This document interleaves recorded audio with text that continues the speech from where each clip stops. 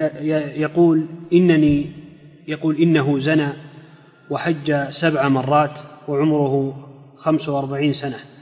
يقول فهل يمكن أن أدخل الجنة؟ والله الجنة عند الله سبحانه. أحسن الظن بالله وتب إلى الله وادعو الله والله قريب مجيب. نعم.